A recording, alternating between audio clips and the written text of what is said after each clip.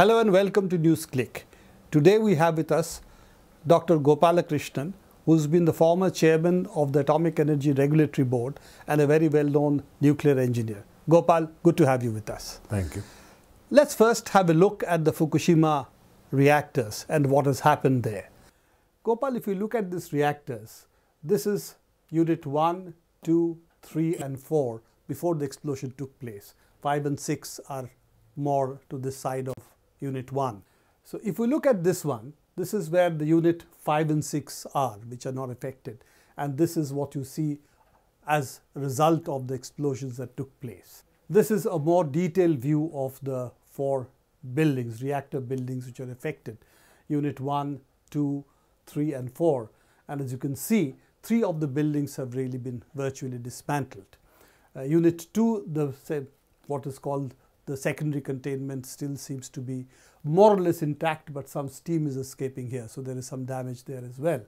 But these are the really the reactors which have been affected, unit 1, 2, 3 and the fourth because of the fire in the storage pools. If we look at the situation today, as it stands, power has been restored to unit 1 and 2 control rooms. The power has come there, but it doesn't mean that the equipment is working. Even now, what seems to be happening is that the, this power is more to see the instruments and maybe try and restore some of the controls from the control room because the radioactivity in the area is quite high. So if you're in the control room, the operations become a little easier. As far as the power is concerned for unit 3 and 4, they still haven't restored the power in the control room. We don't know what the state of the inside of the building is. Uh, unit 4 and 3 both have had an additional problem. In fact, Unit 4 was shut down as well as Unit 5 and 6. Unit 4 had a problem of the essentially of the storage ponds, the intermediate storage ponds.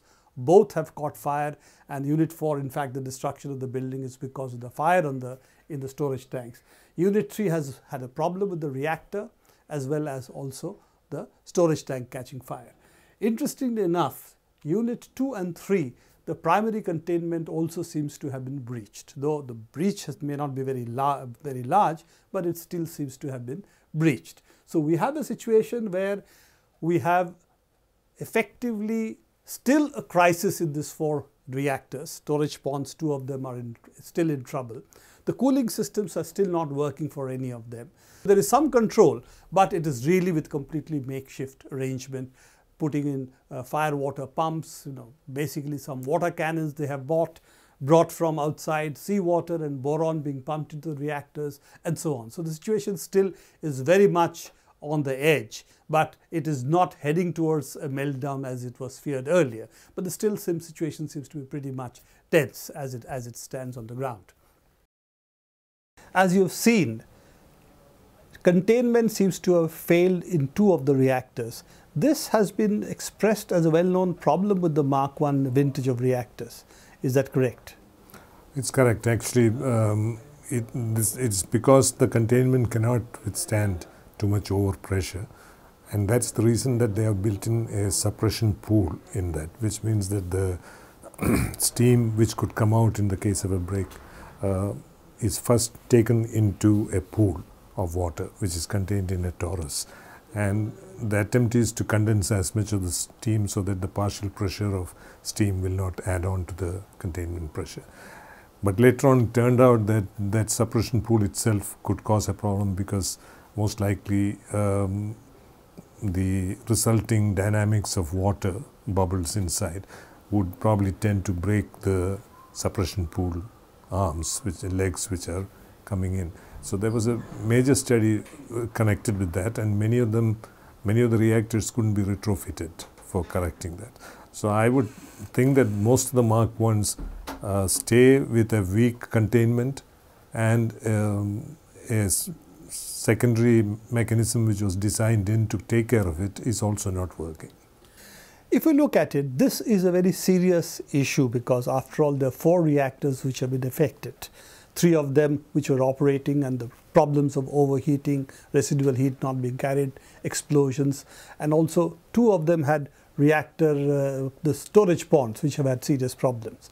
Now, looking at it, one would say that this is really the biggest disaster after Chernobyl because there are four reactors which are still very, very uh, difficult to control. Certainly, I think uh, it is undoubtedly the, the biggest uh, disaster. In some, it could, yes, of course, Chernobyl you can't come compare because there uh, the reactor was operating and then there was no effective containment at all there. But here, uh, with four reactors, and most likely all the four would uh, begin to release radioactivity. It's a slowly developing accident, but uh, day by day it's getting worse. And um, it could end up in some total uh, being very serious because where will people be evacuated? I mean, if uh, Tokyo is affected today, beginning to get affected, even the water is getting to be affected.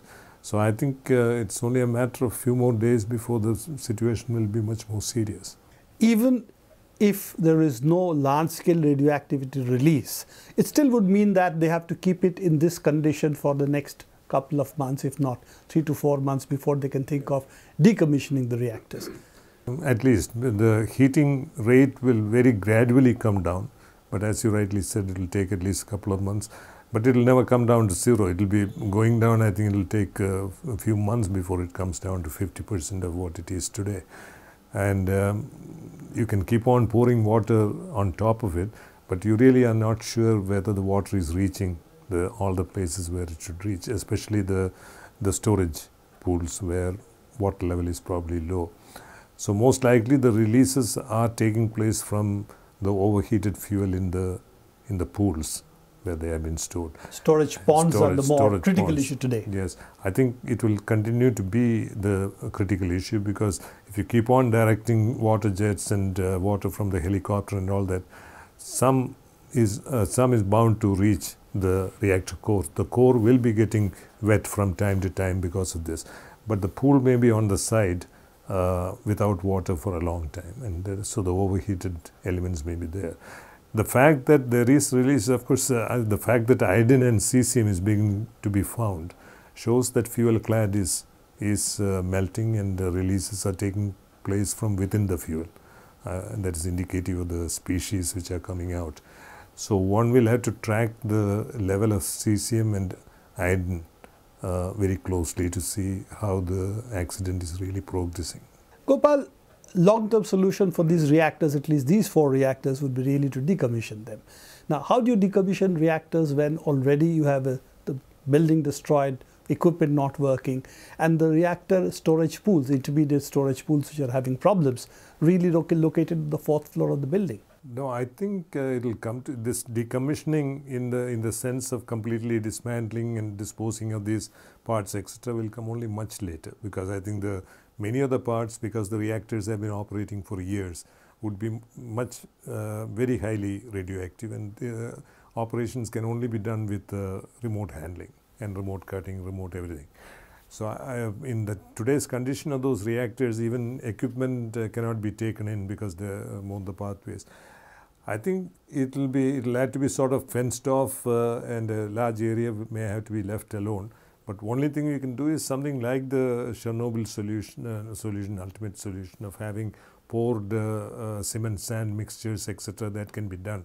Once you are sure that it will, uh, if you right now put it there is a likelihood that the fuel may still be cooking inside and it will get overheated and the whole thing will again get expelled. So if you wait long enough to for the reactors to cool and it's reasonably cool from a temperature point of view, heating point of view, you could attempt to bury it and keep it for some time because the burial will also mean that uh, a the radioactivity escape into the air will be minimized if not stopped and also um, um, it, the shielding provided with this will probably uh, allow people to move around and work around that reactor with a little bit more ease. So there will be several stages of work uh, first before you start really talking about decommissioning. Storage pools, entombing them is not an option.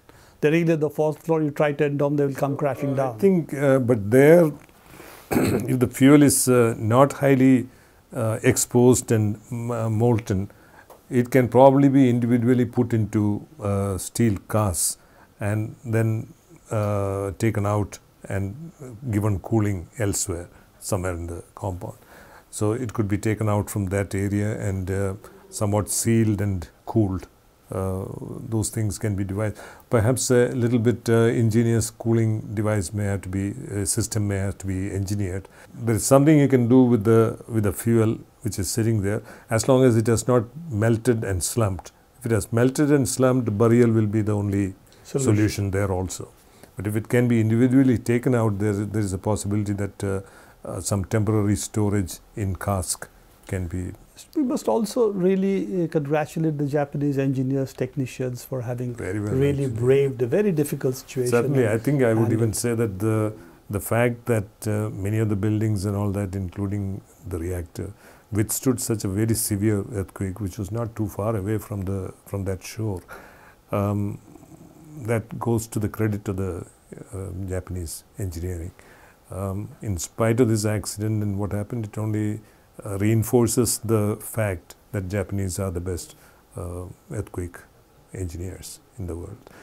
And on tsunami also they tried their best, but I think this was a, you know, in every design uh, uh you look for what is the maximum credible accident that can happen. And I think this somehow went beyond the maximum anybody could think of. Also, the argument of placing the backup DG sets in bunkers was that if there is a typhoon or there is an aerial accident or bombing, then bunkers are better. So in fact, if that had happened, we might have said, well, you know, they should have put it really underground. Why did they put it in an elevated uh, place? If they had done that. So e either way, you know, accidents are really some things you don't engineer. All possible uh, possibilities cannot be engineered against. Yeah, even if at least one diesel set was somewhere at, a, at an elevation and a location away from the tsunami, and it had independent cabling coming to these reactors, it would have helped the situation. So I think in retrospect, one can say that uh, that level of safety engineering thinking may not have gone. It's easy to say today, but I am sure that none of us would have thought about it.